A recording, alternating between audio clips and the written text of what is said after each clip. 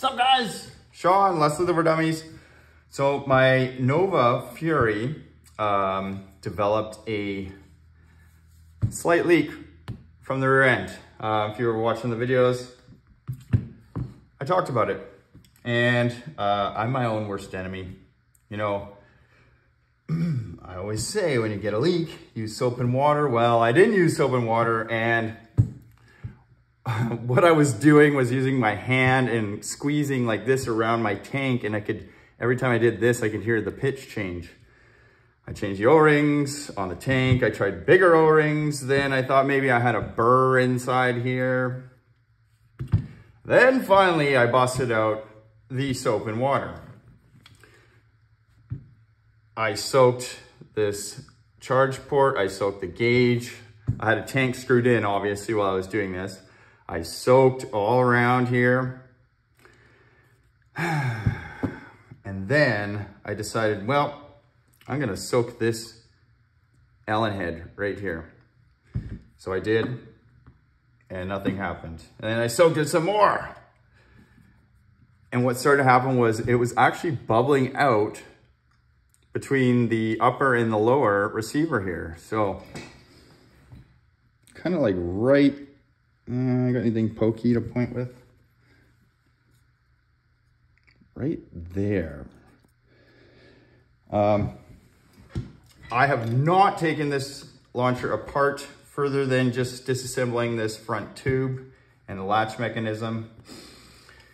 So, um, according to Nova Paintball, this accepts standard Imperial uh, O-rings. I have it set right here. Do I have the right one? Who knows? And I have no idea what I'm doing, taking this apart. So uh, there may be some silence, some fast forwarding. You get the picture. First thing I'm gonna do is just try and separate this lower receiver from the upper. Looking at it, I see a button head right inside there. So you go through this hole right here and then you have this rear one. Um, there, this grip may be part of the securement, so I'm gonna remove the grip uh, during this as well. Those are the only screws I see at this point. It is a 530 seconds. So obviously the marker is not charged.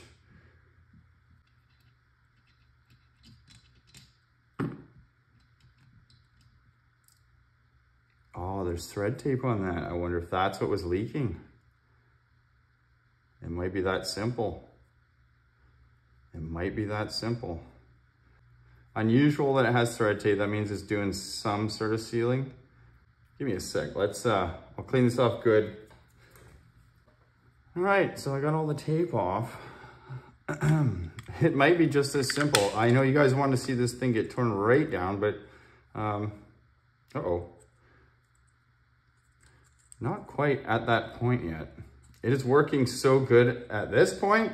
Um, I haven't adjusted the PRV or anything along those lines and it hits like a freight train. Um, oh, and well, I got you guys here.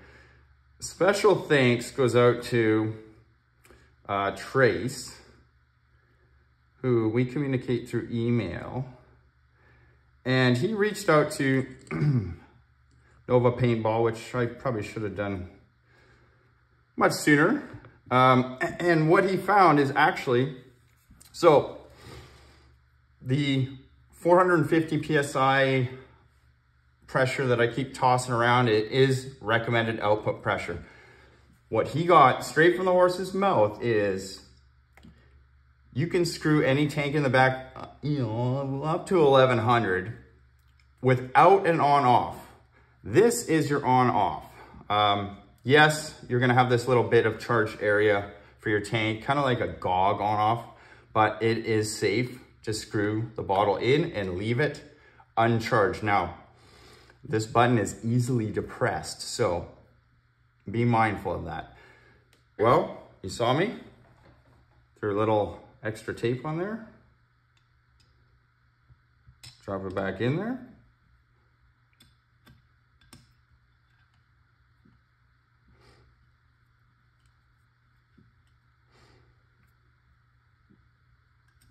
Suspiciously, this was the area that was uh, air was coming out. I put a little torque on it. And grab a bottle here. Lots of air.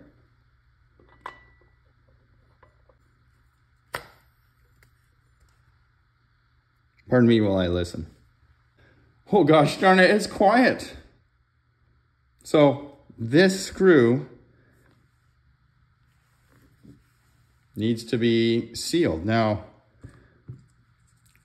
a more permanent solution may be like a, a thread, actual uh, thread sealant. This is, believe it or not, guys, this isn't thread sealant, it's thread lubricant. Um, it's meant to work in conjunction with tapered thread, but in this case, she's dead silent now. Well, that is it for this video. They're never that good. Um, one other thing to note, you can notice I changed from the O-ring that was on here. Um, O-ring was maybe a little too stretched out.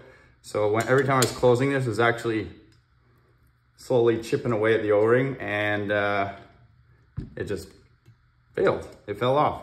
So wife's hair elastic to the rescue. Uh, much more resilient to getting pinched in here. Now, it's probably a, of course, a better solution, but that works great.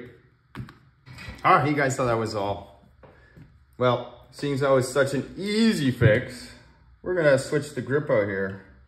See if a standard AR grip will fit. Uses apparently the same 530 seconds, uh, nope. 3 sixteenths. Oh, she's tight. Oh, she's really tight. Please stand by. Get a little leverage on this guy here. Oops.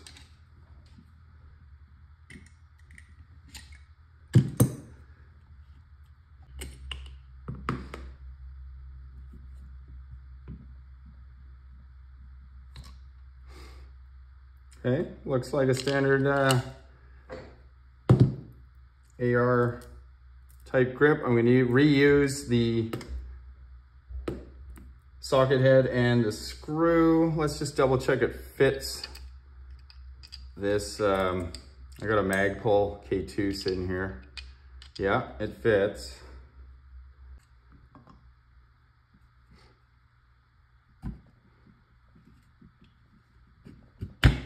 Make sure it's gonna look the part first.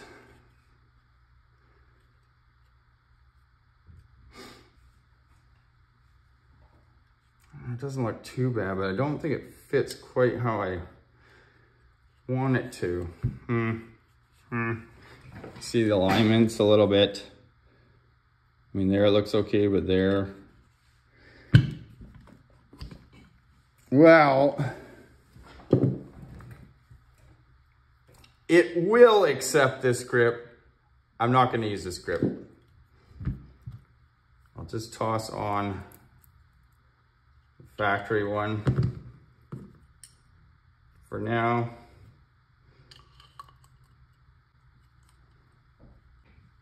Yeah. And for the show,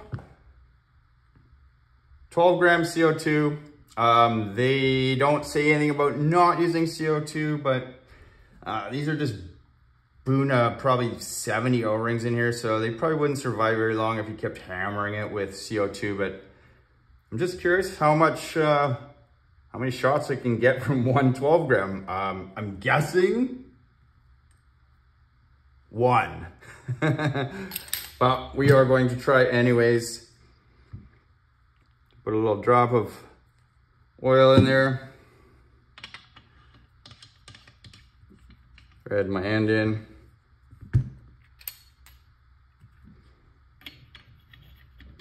CO2. Just like that.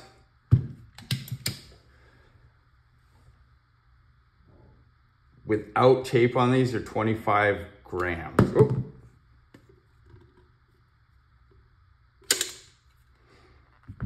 Let's see what it'll do. All right, so this is one shot, one kill. um, so if I charge this CO2, it's not going to charge the launcher until I depress this button and only God knows what will happen after that. So it's in safe.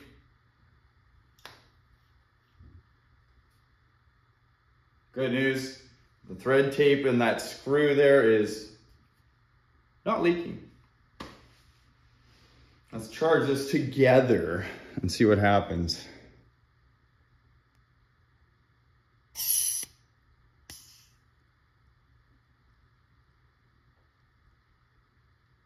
I'm still holding it. So charge just above, it's probably gonna creep to about 450 there.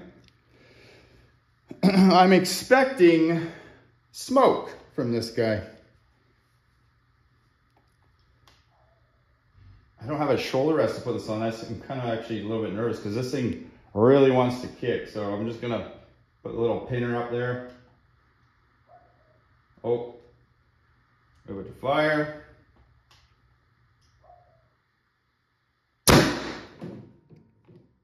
Oh crap.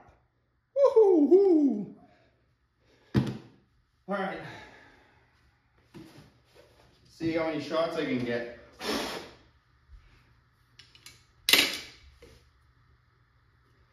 I'm guessing that 12 gram probably just charged it once, but we'll try it again anyways.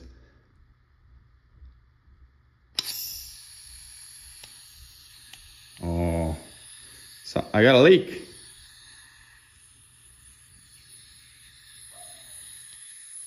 Sounds like the screw again. It sure is. Well, let's fire it off.